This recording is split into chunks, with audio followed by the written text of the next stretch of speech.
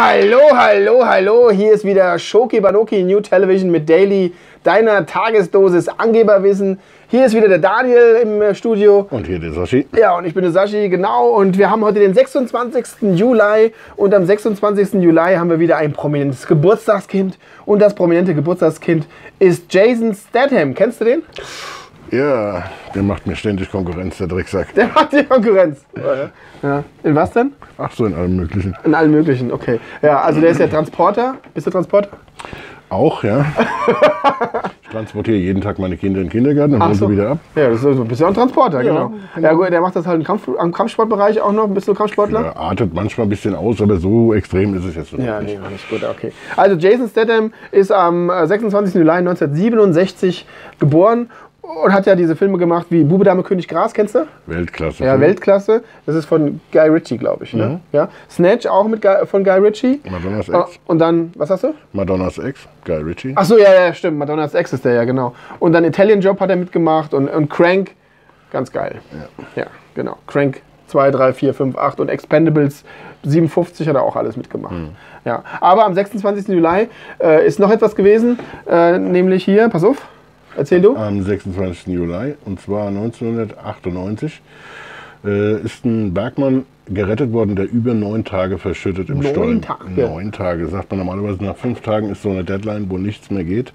Und er hat es geschafft, neun Tage sich am Leben zu halten und wurde gerettet. Wo war das?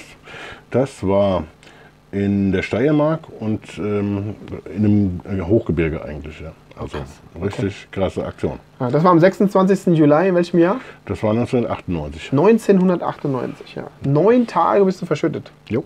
Boah. Ich hätte nach acht schon keinen Bock mehr. Wem sagst du das? Ja. Am 26. Juli ist auch das Fest der Esperanto-Sprecher. Ach du liebe Kannst du Esperanto? Äh, nee, ist, Das, das ist übrigens die Esperanto-Flagge. ist die Weltsprache, ne? Ja. Esperanto ist, ja. Ja. Kann- Schon mal, äh, kannst du irgendwas in Mir Esperanto? hat mich ja noch keiner in der Sprache angebabbelt. Hätte mit Sicherheit auch leid getan, von daher. ja. Nee, äh, Esperanto, also auf jeden Fall ist äh, 19, 1887 war die Veröffentlichung des ersten Esperanto-Lehrbuchs. Ja, deswegen ist heute, heute auch ähm, der Esperanto äh, äh, Welttag, Wer Fest Esperanto-Sprechertag. Okay. Was weiß denn ich? Irgend so ein Kram. Irgendwas mit Esperanto. Am 26. Juli äh, ist noch was gewesen. Ja, und zwar 1978, da wurde in London das erste äh, Kind aus der Retorte geboren, also quasi außerhalb gezeugt und dann in die Mutter wieder eingepflanzt. Ach so, so ist das, genau. Also es wurde außerhalb wurde zusammengeführt. Das, die, Ei, die Eizelle wurde außerhalb äh, befruchtet mit dem Sperma, Sperma des Mannes und wurde dann befruchtet wieder eingesetzt. Also dann hat der, der Arzt das auf die Spitze wieder gelegt. eingesetzt. Ja, irgendwie sowas, genau. Nee, macht man halt so. Ja. Ist ja klar. Ja, das war der 26. Juli. Am 26. Juli habt ihr sehr viel gelernt und kommt morgen wieder. Morgen ist der 27. Juli. In der Zwischenzeit könnt ihr auch natürlich unseren Kanal liken und, äh, und hier äh, das, das Video abonnieren, äh, nicht abonnieren, sondern äh, hier das, den, das Video abonnieren und den Kanal, das Video liken so rum und den Kanal abonnieren. Manchmal ist man wie doof. Ich wollte schon eingreifen, aber naja, gut. Ja, genau. Ich sag Cheerio, Miss Sophie, bis morgen.